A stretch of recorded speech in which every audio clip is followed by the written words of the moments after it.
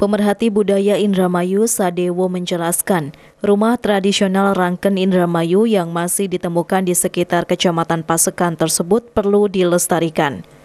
Ia menjelaskan, rumah dengan nama Rangken ini diartikan sebagai rangkaian yang memiliki gaya arsitektur gajahan.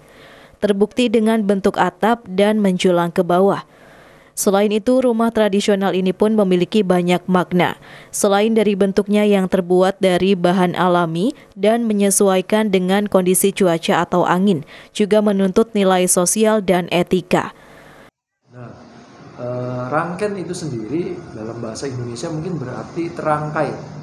Maka di sana ada dua nilai. Yang pertama, e, arsitekturnya itu bisa disebut sebagai rumah dengan atap gajahan menurun dari atas ke bawah lalu menjadi rendah dan itu simbol bagaimana kita mempunyai etika bahwa rumah-rumah di Jawa atau rumah-rumah yang ada di pesisir ini selain tempaan angin harus diukur melalui ketinggian rumah itu sendiri tetapi di sana juga membangun bagaimana kita beretika, beradab. Pemerintah perlu melakukan kajian lebih lanjut agar dapat menentukan kelayakan rumah tradisional tersebut sebagai warisan budaya. Sudah dirasmadi RCTV Indramayu.